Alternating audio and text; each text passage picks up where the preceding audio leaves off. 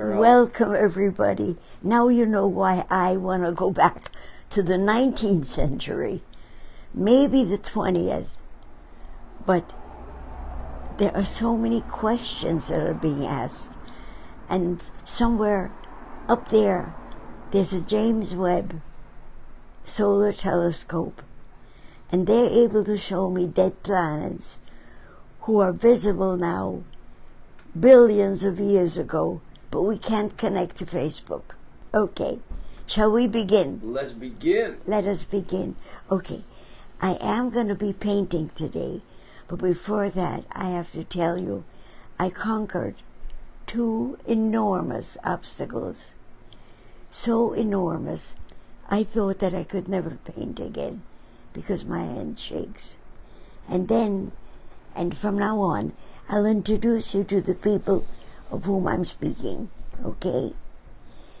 Gary, over here, brought down a video of a man who was painting on a flat surface. And he was doing things like even eyelashes on people. But because his hand was like this, he didn't need to stop the hand from shaking. And so we liberated the room. We took away everything from the desk, from life. We moved everything. And this became my easel. In other words, I can paint. And the second thing is, I can't hear. I need hearing aids. I've tried so many hearing aids, but it seems that my ear canal is so thin and probably does dance moves. It's not direct. And I could not get my hearing aids in. Kenny could. Joni could. I tried to, uh, to see if my physical therapist could do it. She couldn't. I asked somebody else who's a nurse. She tried and she couldn't. And I decided what Eric used to say when people would say to him, Eric, how come you can do so many things? Things which had nothing to do with what you love doing. How do you do it? And his answer always was, if they don't need me, they'll kill me. And I'm not going to let them win. And that was when he was in the ghetto and in the concentration camp, and he lived. So I sat down in the morning and no, I sat down at night when it was perfectly in because Kenny had put it in. And I very carefully pulled it out. But as I pulled it out, I became painfully aware of how my hand is, what it touches, what it did not touch, and I slid it into the ear canal. And I thought, oh my God, I did it. Let's see if I concentrate on the other ear, if I can do it. And then I said, so many people couldn't do it in my ear. I know the ear canal is tiny and that it's crooked. But if Kenny was able to do it, Eric, what would you have done? And Eric said, from up there, he said, if they don't need me, they won't let me live. And I'm not going to let them win. And I did it over and over again, being completely aware of when I hurt the battery, where my finger was sliding this hearing aid. And I got it in. Mm-hmm. And I sat there and I thought, the nature does not make it easy. And as I get my painting ready, I would like Kenny to read something that I discovered. Okay? Beautiful. And I'll get myself set up. And this is what Hedy said. These were Hedy's words. So I'm just going to read read them. This is what she said in our conversation about her experience with this. She said, There are ways to get around problems and obstacles. There are ways to fulfill what you want, even in the face of challenges. Which I have to say reminded me of the days when Hedy was wheelchair bound and crippled with lupus and said, I'm going to heal myself. I'm going to heal myself. And never, never gave up. And, you know, now has been in complete remission for, I don't know what, 60 years uh, for really serious lupus. Anyway, she said there are ways to fulfill what you want, even in the face of challenges. Like my challenge last week with painting, and I found an invention. The ways that we find are not what we picture, they're not what we imagine, but they honor the realities of what's around us. This is what I found. I could use the table. I can use my desk and it respects what my arm needs because I can control it. But I only discovered that by trying so many different things. And the same is true with people. There are ways to get to healing. There are ways to get to understanding. But they are not necessarily the ways that our mind tells us. We have to listen to and respect the other person define what they need and what they think, or the solution is force and it won't work.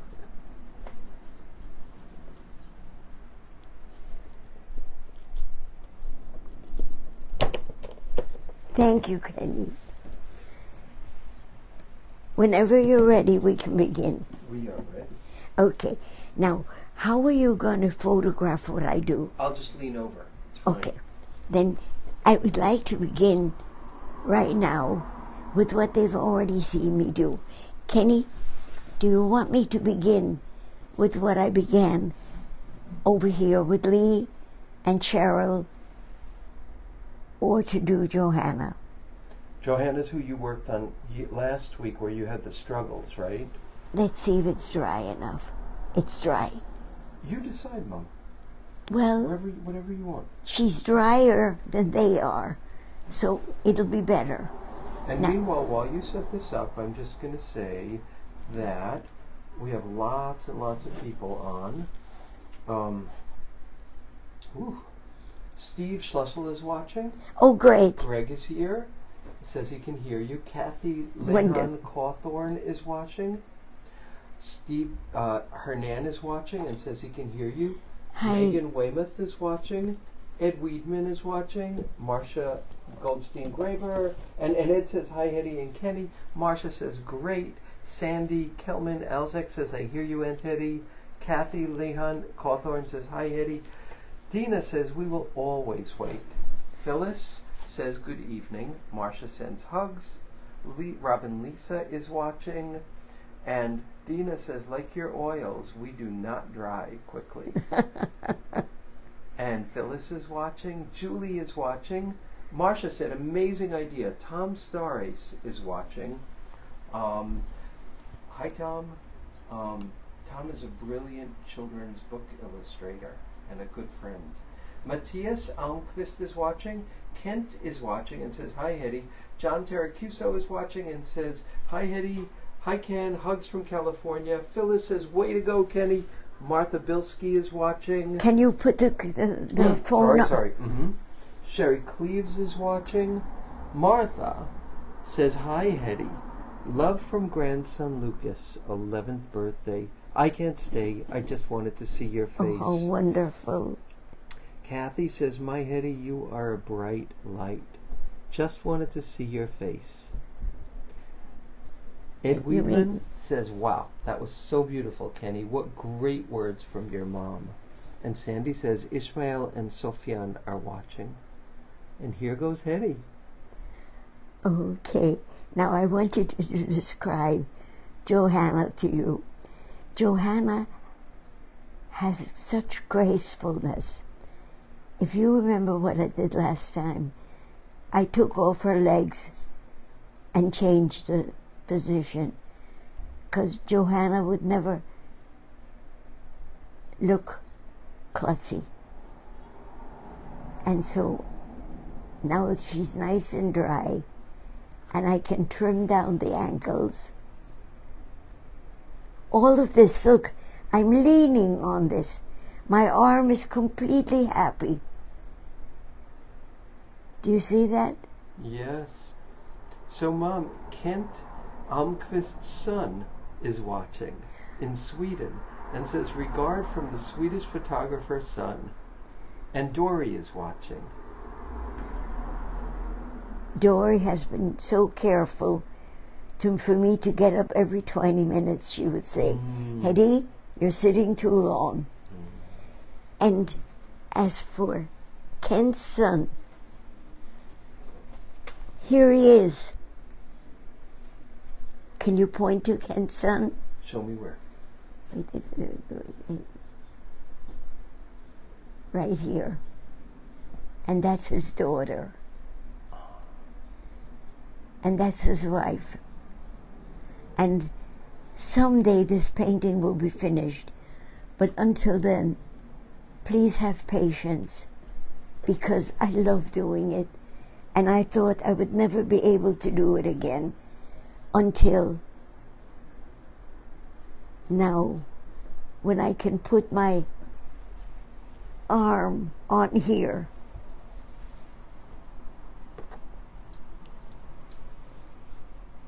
There's something I would like Kenny to read to you. It's a story that I used to use in my life, and I taught it to my children. And it's about in life, if you want to do something, it's never going to be easy if you want to do it correctly. But if I'm changing brushes constantly, and if you want to do something that you don't yet know how to do, make believe that you're in a room, but they do not let you out into the next room until you finish everything that this room needs.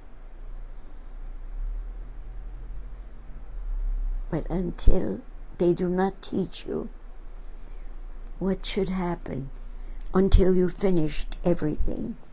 And the funny thing is, Dory, who does our YouTube, was teaching me that when you do something, don't move it until you've finished everything that it needs, which is so much the theory that I was speaking of. Now look how tedious this work is. In not because I'm having my hand the way it is, but because oil when your hand wants something and it needs not like a pencil where you do it and it's done but when you have to blend things and you have to make sure that it's the right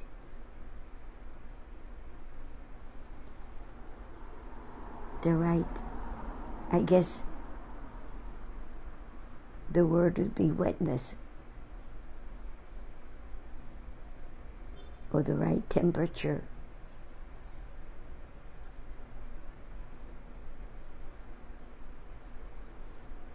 My graceful, enormously graceful Johanna,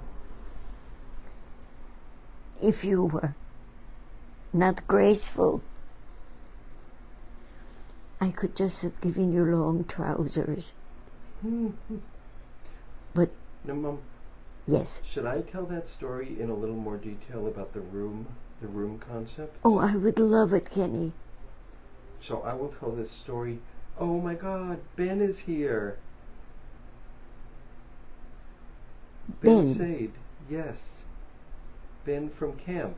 Eric Anderman is here. Sarah's dad. Oh, this is wonderful. Ben, hello. And you're all meeting Johanna, Yes. my graceful friend. So this is how that story happened. I'll, I'll tell people because it was so amazing. So Hedy had fallen. Can I just show you how suddenly her legs are going to be graceful? Mm-hmm. But the patience that it took for the pain to obey me, because it couldn't be broad strokes, it had to be blended. Okay, I won't interrupt. So Hedy was in the hospital. She had fallen. She was. She had just gone through serious, serious surgery, and um, she was in brutal pain. Brutal pain. And um, one morning, I went to the hospital, and she said, "Ken, last night I came to understand why I love and respect work so much, and the meaning of work." And she said, "I had a dream." And she said the dream was that I was confronted with a room. And she said, and this is what it's like for us in life. I was confronted with this room, and there was ta- there were tasks in this room that I absolutely did not want to do. They were hard, they were big, they were daunting. I did not want to do them. Every part of me didn't want to do them. But I knew I needed to do them. So I did those tasks, and the room opened up and led me to the next room, which was the next room of my life. But if I wouldn't have committed to completing the tasks in the first room, life would not have allowed me into the next room. And that is why I value work so deeply. So that's the story of Hedy and uh, the rooms. And the story of Joanna's graceful legs. Yes.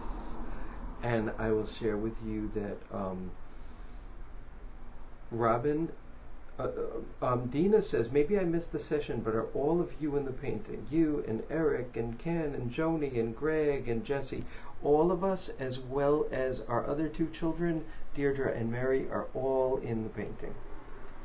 Robin Lisa says, you are amazing. Benji says, is watching. Dory says, your hand is so steady. I know, look at this. I really, she says, I really couldn't tell yesterday because you were mock painting. Sandy says, what a beautiful painting. Benji says, hello, it's been a while. Kathy says, it's a beautiful painting, and I am honored too. As Hedy has started to paint my horse and I. Ken Harris is watching. Julie says, my dear Hedy, I am so impressed by your perseverance and positivity. But look at the reward. Wait, there's more. Yes, yes. The painting has come such a long way, so beautiful. I'm glad to hear you channeling Eric's wisdom during his birthday month. Love you and love you, Ken. Dory says, Look how easily you just did that strap on Johanna's shoe. And Julie says, Wow, I love that story about work and rooms, so profound. And Dina says, That is great. Now, let's show, let me show you this. For Johanna to be as graceful as she is, I need to add flesh tone where where I would have to do a few layers. I just have to acknowledge that one week ago you weren't really even able to paint things carefully because of your shaking and Right. you didn't know what you would do and you tried so many Right. solutions and nothing worked and here you are completely free to paint now. because somewhere it, it, it, it's not by accident. Here's what happened. Gary over here who's my neighbor brought the film down about this young person who worked like this. And then he and kenny at separate times arranged this room so my paints would be right there. And Johanna's legs are only done by me because somebody told me about another artist. So you only learn because you've prepared the soil and if these people would not have been friends of mine, I wouldn't have known. Mm. And Melanie Castillo Burzak is watching. Janine Schultz is watching. Ed says Gary is amazing and the best neighbor. Thank you, Gary. yes. And all of you, please look at her legs and be aware of how long it took. But if I wouldn't have taken this time, think about it, then it wouldn't exist. So give lovingly, don't give stingily. Don't say, but I've worked so long. It's not fair. I'm coming because, see, Tammy and Tracy, they were here last week, and they were the ones who taught me their view of the universe. And that is that the universe knows what needs to be done and who the people are who must do it. And in the weirdest way, it brings them together. Dory says it took a village. Yes, And Janine says this is wonderful. Marsha Goldstein Graber says this is the most amazing master class ever. Thank you, Eddie. and she's the one who convinced me that I should paint like this. Now, watch. The only thing left to do is the strap needs to be darker. And I shouldn't do it now. but I will because I'm dying to. Because Let me just say we're, we're going to run five minutes late because we started five minutes late. right, late. that's our fault. Oh, look at those chairs. Actually, it's not a fault. It's because it had to be. Now, the first thing I'm going to do in order to do her her sleeve, because if her arm is not as graceful as she is, then I'm not right. So let me take a little bit of a deep black and give her a graceful swoop. I have never seen Joanna wearing something which did not flow. So, in order to flow, I need some blue. Because where the light would fall on her shoulder,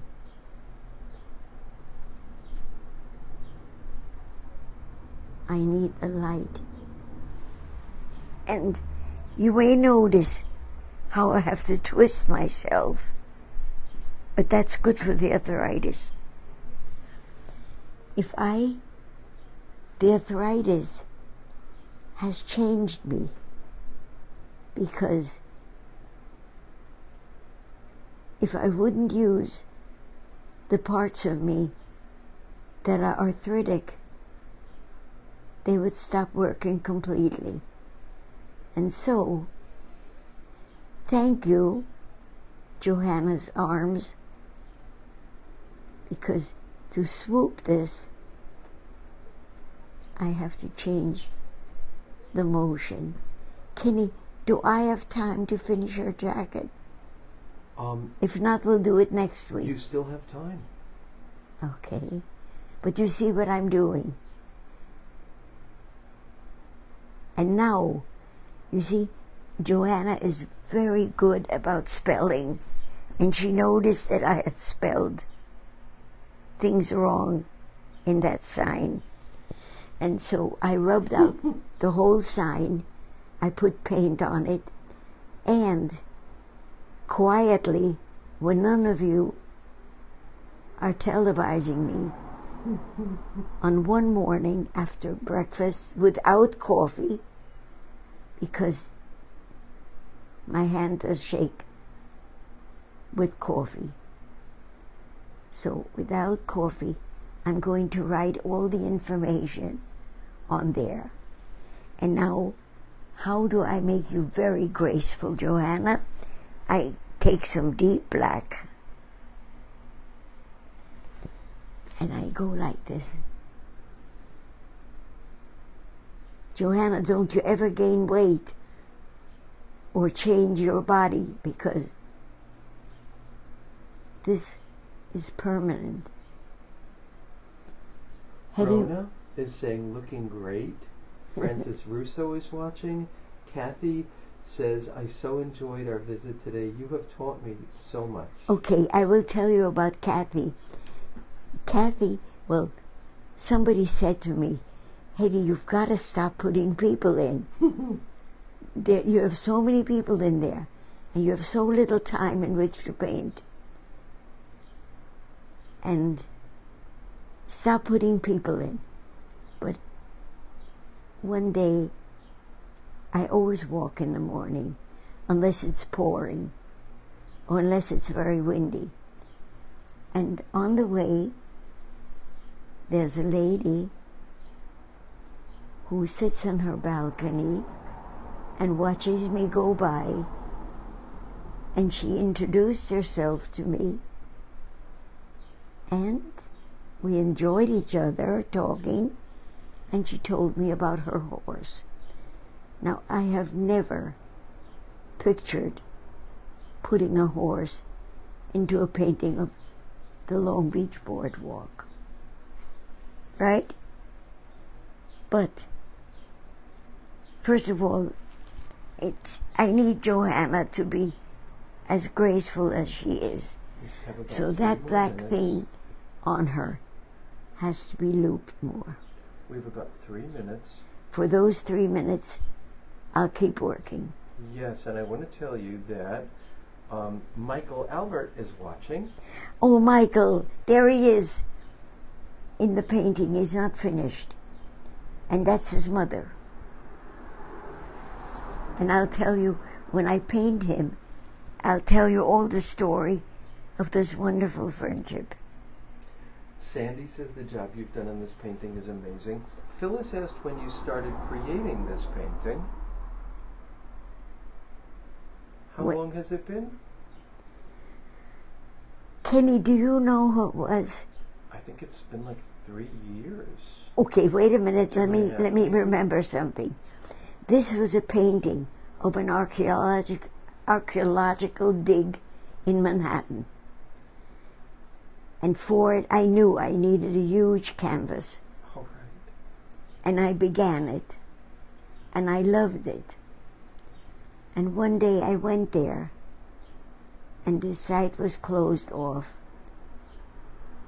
There were no. They discovered that it had been a burial ground, and we were not allowed to work there anymore. So there I was with a huge canvas. In my life, I would never have done. But you see how beautiful it's going to be now, mm-hmm. because yes. that arm took away her grace. Not the arm, but the angle. Eric Anderman, Jesse's cousin's Sarah's dad, says, So glad to have tuned in. Thank you for sharing your amazing talents and the joy you find in your work. And Dory says, At this rate, at the rate you're going, it's going to be a triptych or more. Thank you so much. And three cheers for Kenny, who's been my my mentor, my hero, my everything. And for for my wonderful Greg who rescues us whenever nothing something doesn't work.